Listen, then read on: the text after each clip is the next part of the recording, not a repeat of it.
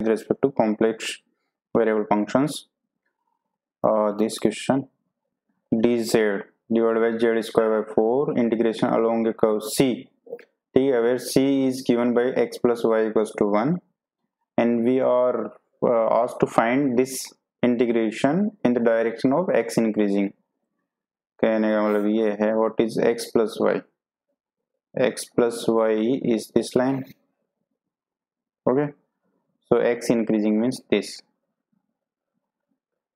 so uh, x varies from minus infinity to infinity so here x is minus infinity and इधर plus infinity okay so हमें इस line के long इस line के long increasing x direction में ये integration find करना सो first of all हमें ये देखना पड़ेगा कि ये इंटीग्रेशन एग्जिस्ट करता भी है या नहीं। मीन्स हमारे, अगर स्मॉल एफ़ जेड हम यहाँ देखें, इस टाइप ठीक है, यहाँ पे स्मॉल एफ़ जेड क्या है? One divide by Z square by four and we know that anti derivative small F Z का तभी एग्जिस्ट करेगा when small F Z itself is analytic okay on the given curve ठीक है? सो so, अगर हम यहाँ पे देखें स्मॉल एफ़ जेड जो है Z square plus four equal to zero this is the only point जहाँ पे स्मॉल एफ़ जेड एनालिटिक नहीं होगा। अदर पॉइंट्स पे तो इट इज़ रेशनल फ़ंक्शन ठीक है? So at every else place every other point F Z will be analytic तो यहाँ से आ गया हमारे पास Z is plus minus two iota means ये दो पॉइंट ऐसे हैं two iota and minus two iota जहाँ पे स्मॉल एफ़ जेड जो हमारा फ़ंक्शन है वो एनालिटिक नहीं होगा। बट ये पॉइंट हमारी कर्व के लोंग है या नहीं, ये हमें देखना है। हमारा कर्व है X plus Y equals to one okay so hmm x plus y equals to 1 if we take z to iota z means क्या है? x plus iota y, that is plus minus 2 iota इसका मतलब ये होगा कि x zero और Y plus minus two okay पर ये दोनों ही point zero comma two and zero comma minus two ये दोनों ही point x plus Y equals to one पे लाई नहीं करते zero plus two is two zero minus two is two so जो हमारा कंसिड्रेशन पे कर्व है, उस पर तो इसका कोई इश्यू नहीं है। तो ये जो कर्व सी है दिस कर्व सी सॉरी ये इस टाइप है, जो ये स्ट्रेट लाइन है ये माइनस इन्फिनिटी से इन्फिनिटी की तरफ़ जा रही है जहाँ पे एक्स की वैल्यू इसके चारों तरफ़ हम एक ऐसा डोमेन ले सकते हैं जिसके अंदर ये जो फ़ंक्शन होगा one by z square by four वो एनालिटिक होगा। मीन्स इस डोमेन में plus minus two iota include नहीं होगा। Okay so from from we can say E as fz is uh, analytic, so its antiderivative exist. Okay so हम simple तरीके से इसको इंटीग्रेट कर सकते हैं। D z divide by z square by four so जैसे हम सिंपल कैलकुलेशन में करते हैं this is nothing but tan inverse z by two one by two okay limit is from minus infinity infinity so one by two five by two minus minus five by two so that is nothing but five by five divide by two five by two okay so the answer is five by two okay I hope ये clear है? अगर इसी question में, अगर इसी question में, अगर इस क्वेश्चन को हम थोड़ा चेंज कर दें ओके हियर इफ़ या तो हम लोग कर्व चेंज कर दें, या क्वेश्चन में भी अगर यहाँ पर पूछा जाए तो same question d z divide by z square plus one along given curve पूछा जाए देन इसका एंटी डेरिवेटिव एग्जिस्ट नहीं करेगा। क्यों? क्योंकि ये इस यहाँ पे एलिटिसिटी लूज हो रही है प्लस माइनस आयोटा पे। और यहाँ पे प्लस माइनस आयोटा इस पे लाई करता है। कैसे?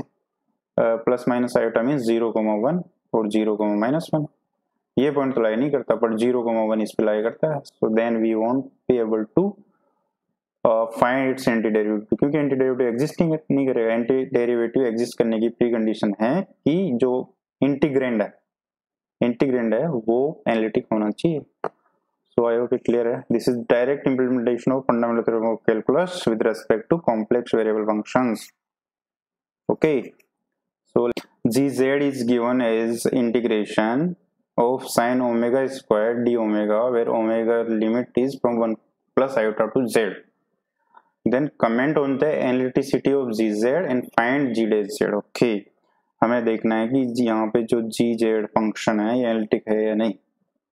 Okay so first of all if इसमें हमें ये चेक करना होगा कि साइन जो ओमेगा स्क्वायर है, अगर इसका एंटी डेरिवेटिव एग्जिस्ट करता है डेरिवेटिव एग्जिस्ट करता है then then we will be comment on the analyticity of g z अच्छा साइन ओमेगा स्क्वायर जो है ये अगर ये कर्व लें one plus iota two z ठीक है? इसमें ये एनालिटिक है या नहीं? First of all sine omega square is nothing but combination of sine omega and omega square अगर ये फ़ंक्शन लेने हैं एफ़ ओमेगा एंड ये फ़ंक्शन ले लें हम जी ओमेगा तो ये इन दोनों का कंपोजिशन है, ठीक है? ये ट्रिगोनोमेट्रिक फ़ंक्शन है दिस इज़ पॉलिनोमियल फ़ंक्शन है when they are analytic their composition will be analytic okay so this is analytic in this given.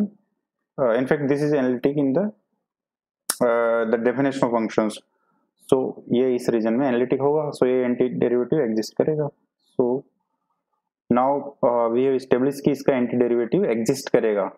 So we can directly differentiate T डेज़ जेड क्या होगा? Leibniz theorem we can apply Leibniz theorem क्या बोलती है? Differentiation of limit z with respect to z is 1 sin z square.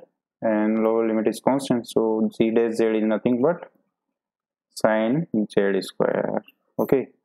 So basically इन दोनों example से हमें ये समझ में आता है कि जो रियल एनालिसिस है या रियल कैलकुलेशन है उसी के कॉन्सेप्ट अप्लाई होंगे but first we have to make sure कि ये एंटी डेरिवेटिव एग्जिस्ट करता है या नहीं। वंस वी हैव स्टेब्लिश कि एंटी डेरिवेटिव एग्जिस्ट करता है देन उसके बाद तो सिंपल जैसा हम करते थे रियल कैलकुलेशन में ऐसा ही होगा। ओके okay, तो जैसे इसमें हमने स्टेब्लिश कर दिया कि साइन ओमेगा स्क्वायर एनालिटिक है सो इसका एंटी डेरिवेटिव एग्जिस्ट करेगा। Once we are sure of that उसके बाद वी कैन डायरेक्टली से कि जी डेज़ जेड जो होगा, वो ये होगा साइन जेड जेड स्क्वायर होगा।